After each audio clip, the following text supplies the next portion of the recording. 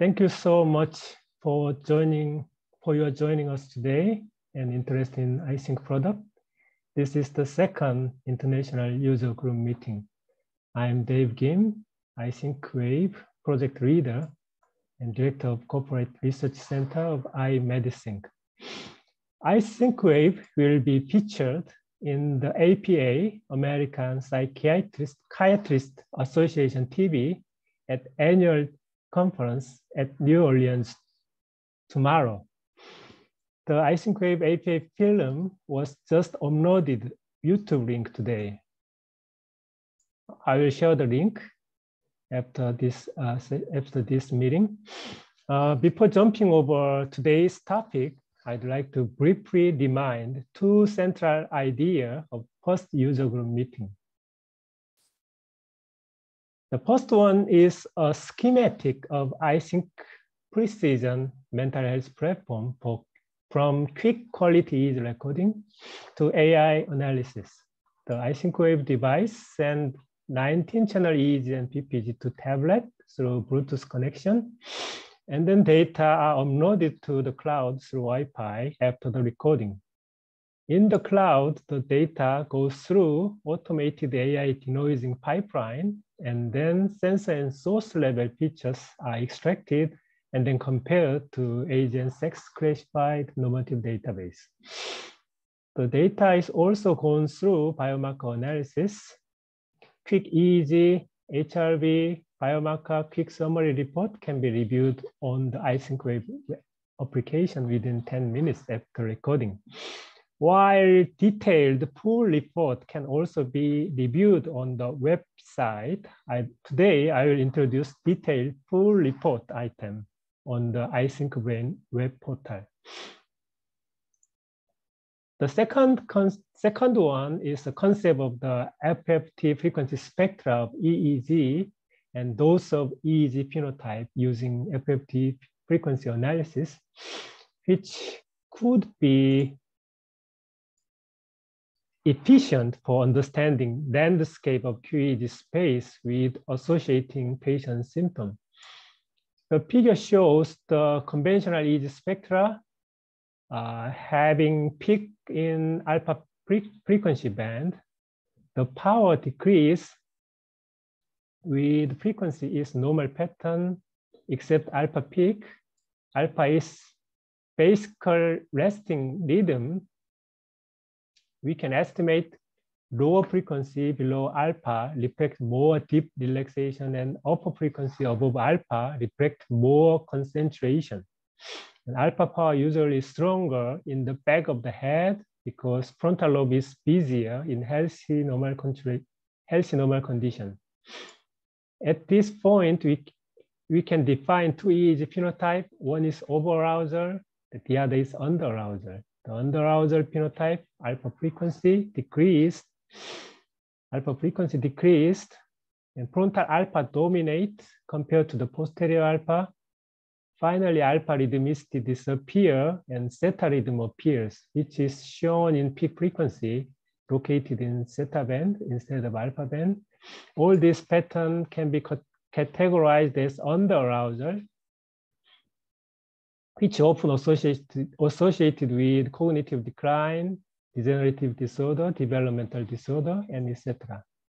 On the other hand, overarousal phenotype, which is exact opposite direction, alpha frequency go higher, alpha desynchronized, beta spindle dominate, peak activities now in the beta band. These are often associated with the OCD, anxiety, worriness, insomnia, addiction, and etc. I'd like to briefly add age dynamics of posterior alpha rhythm. The alpha peak frequency develop into adult range in early adolescence and decline in normal aging. But alpha frequency is slower than age-relevant average in developmental disorder and cognitive decline in senior population, while, while alpha frequency is higher than norms in many overarousal phenotypes, such as PTSD, insomnia, busy brain, and etc. This slide shows two example case for the uh, close to over-arousal phenotype and close to under-arousal phenotype from quick summary report on isync wave to band power topo map. In this case, band power topo map, we can see the band power topo map on the full report of isync brain web portal. In this case, the high uh, beta band is quite deficient and slow alpha is uh, excessive. And slow frontal alpha 2 is excessive compared to the normative database. The clinician use this isync brain full report, not on this, not only this uh, quick report. Clinician use this full report on the web portal, which is seamlessly connected to isync wave quick recording and summary report. Uh, today, today, I'd like to introduce a functional description of wave device and show a demo of wave dry is recording and then connected isync wave, isync brain full report functionality, including individual analysis and norm comparison uh, will be discussed. And isync wave Isync brain AI and manual denoising process will be discussed, which is crucial, crucial for the reliable quiz report. At the same time, I think heart, HRV, heart rate variability, individual analysis and summary report will be briefly introduced, which is measured through PPG sensor at the right ear, uh, analyzed simultaneously with 19 channel EEG. Finally, isync brain R strong group statistics for QEEG researcher, including normative library, will be covered in today's presentation. As a first part of the today's, today's topic, I'd like to describe standard process for isync wave measurement with some prerequisite information and give a isync wave quick easy measurement demo. Uh, as a first step, I'd like to describe a function of each part of isync wave device respectively. The number one is reference electrode, is, which is common electronic reference for measuring 19 channel EEG as a voltage signal respectively. The number two is PPG sensor, uh, which is which measure heart rhythm simultaneously with 19 channel EEG. The number three is the USB-C charging port, and number four is power button. And pressing the power button for two seconds, the device is turned on, and then uh, after using the device, pressing the power button for two seconds, device will be turned off. During operation of the device, color of the power button indicate the battery status and battery charged below 30%, a green color turned to magenta, uh, which reflect the necessity of the charging. When USB-C is connected, plugged, the device can be charged. The color remained in magenta until battery level cannot reach 95%. The number five is electrode, brush and flat electrode. In the center of the, each electrode, there is a LED for photobiomodulation. Wave follow international standard 1020 standardized uh, electrode location. There are 19 channel EEG with a reference channel in the left, left ear, earlobe, and ground channel uh, in in the center of the forehead. In the forehead, flat electrodes are placed while brush electrodes are placed except forehead area for penetrating hair and making electric contact with the skull. The white area is AGAGCL is coated on conductive polymer uh, for contact surfaces of each electrode, uh, respectively. The number six is a chin strap and number seven is a tool for height control, especially for ch children brain and replacing tool for brush electrode. The iSyncWave device is controlled by app by app from Google Play Store. The name of app also iSyncWave. When Android tablet is ready, you can download the app uh, and it will automatically install on the tablet. And there is another app titled iSyncB. It's a personal app where any client can download the app on the personal smart device and monitor their uh, their own iSyncWave recording history and summary result history, therapy history, and keep tracking of progress of their mental health condition with, with their doctor. The minimum memory requirement, requirement for stable iSyncWave operation is Android tablet with 4 gigabyte RAM, but 6 gigabyte RAM will be more stable for long-term recording over 10 minutes the tablet OS for optimized iSyncWave operation is Android uh, version 11. Uh, Android version uh, can be checked under the ta tablet setting. This is the tablet setting menu. There is about tablet. In the about tablet, there is a software information. In the information, you can find the Android OS. Android version 11 is uh, optimized for the iSyncWave operation. The Wi-Fi upload and download speed over 10 megabps are recommended for stable communication with the cloud. Uh, before a demo of iSync of wave measurement, I urge you to get familiar with this nomenclature of standard 19 channel.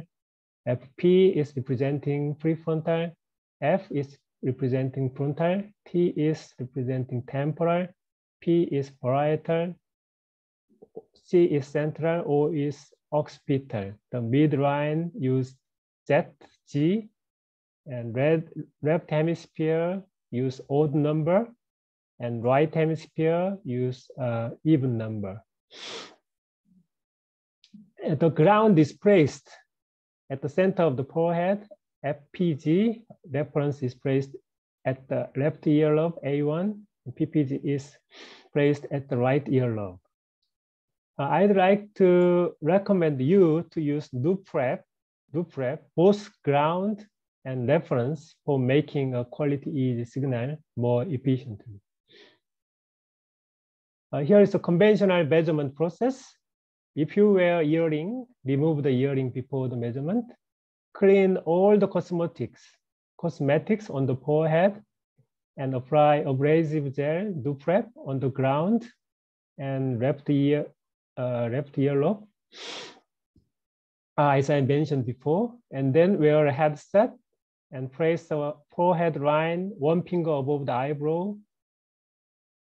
And place the temporal line uh, uh one finger above the uh, ear flap. And finally, fasten the chin strap gently and gently pushing all the electrode area. And place eye in the downward direction, not the not upward direction. Uh, that uh, place place uh, eye direction on the above direction upward, make open making the frowning forehead muscle. So uh, please uh, place eye direction not on the above and place the neck in the comfortable position, mm, not to make neck muscle activity. Keep comfortable sit, sit, sitting position during EEG recording, but keep away from the drowsy status. Before EEG recording, please check the setting menu for choosing measurement time and notch filter setting the easy measurement time can be chosen with two cycle combination of eye closed and eye open. The notch filter, either 50 or 60 hertz, will be automatically set using the GPS information. I'd like to demo my own EEG recording using iSyncWave at at the moment. Now I'd like to share my uh, I'd like to share my uh, another screen. Wait a minute.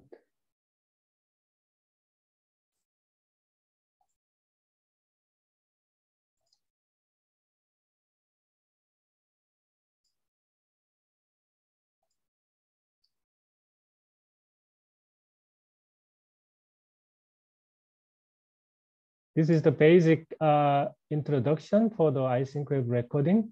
Now I'd like to share my tablet screen here.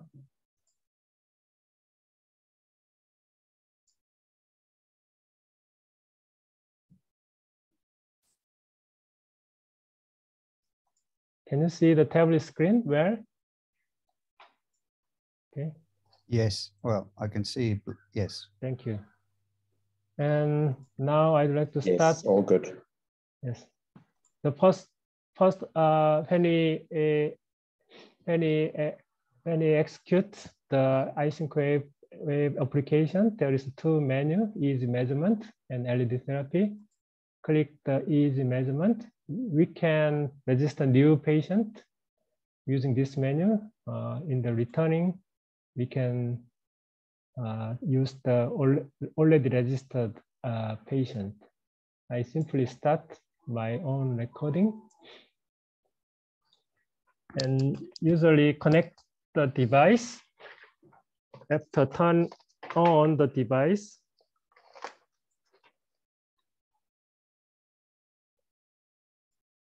and connect the device through the Bluetooth connection. And uh, I have to uh, do prep again for the educational purpose. I just do prep, but I'd like to do prep again in the ground area. A do prep.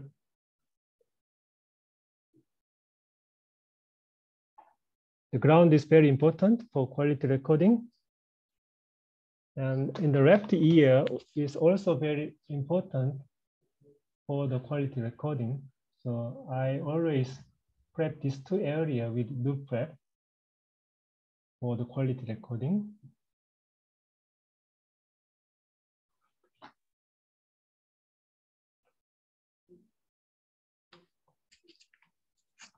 And then simply wear the headset like this.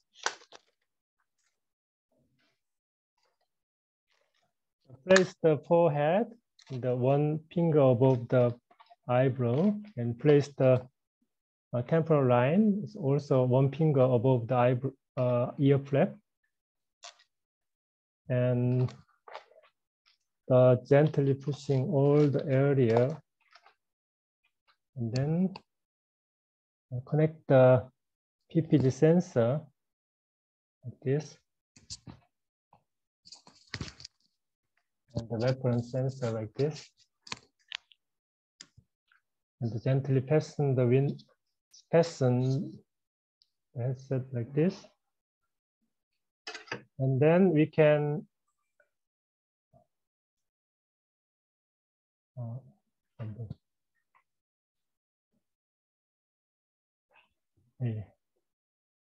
And then we can uh, start the impedance measurement. Like this.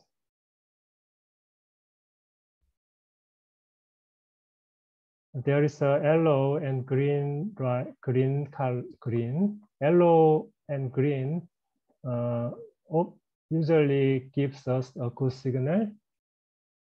And red uh, usually uh, gives us a bad signal, I'd like to gently push the yellow area like this.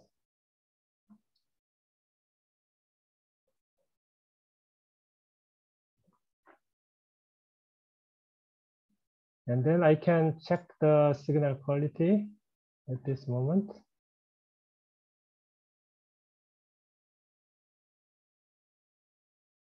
This, is the EEG signal.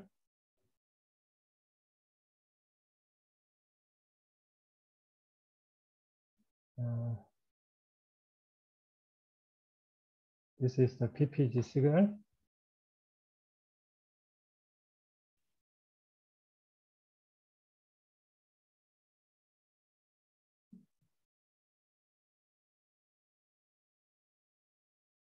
And if you want to, if you do not satisfy the signal quality, we can go back to the impedance measurement screen and uh, start the impedance again like this.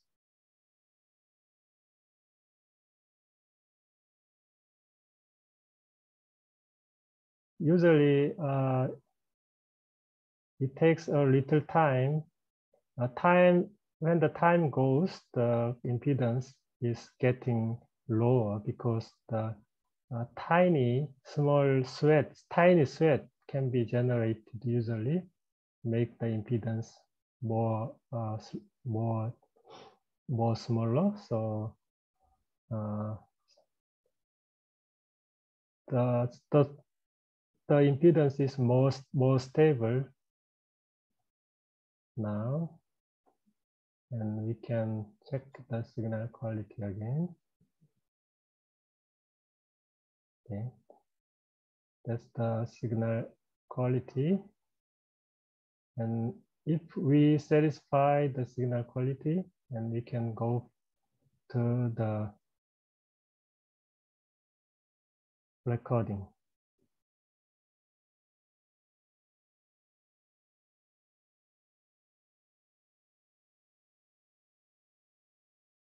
Okay, and then we can, uh, I'd like to check the, check the uh,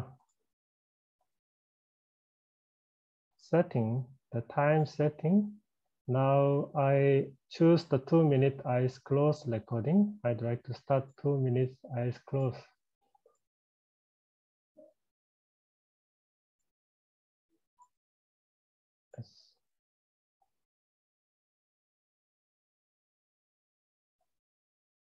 Checking impedance once more, and then I'd like to start two minutes eyes closed recording.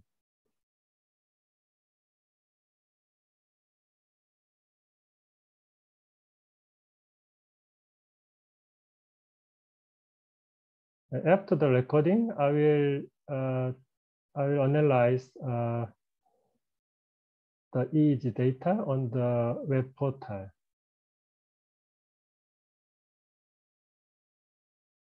Sometimes we can use this vibration function. Now the signal is more stabilized. I can skip the signal check and start to Close eyes. Measuring starts in five eyes seconds. close measurement. Stay awake while measuring.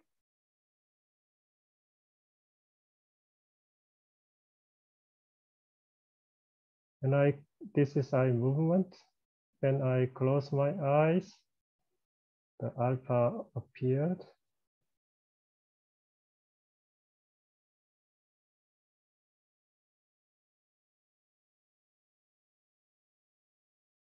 When I open my eye, the alpha is disappeared. The horizontal eye movement and eye blinking. When I close my eye- again, then alpha appeared. That's the EEG.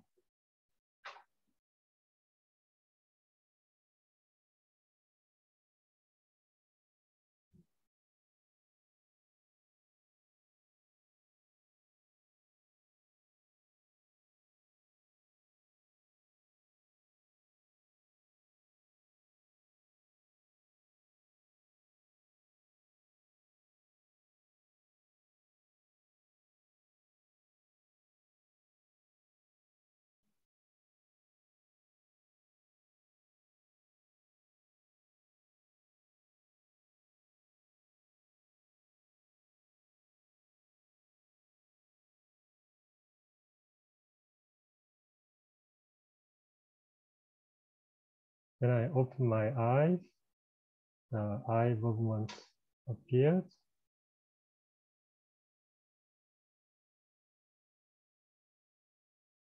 When I close my eyes, the alpha activity start again. This is the EEG, quick EEG, EEG recording, and we can review uh, full analysis on the iSync brain web portal after this recording. Measurement is completed. The all the recording is finished. This is not for the uh, exact exact report, for just for the uh, demonstration of quick EEG measurement. We can di di display the EEG signal here, and we can go for, go further. This is the EEG signal. We can adjust the signal amplitude like this, and we can select the montage, common average. Sometimes we can select the montage longitudinal. There's a, another montage here. This is the uh, basic uh, signal review.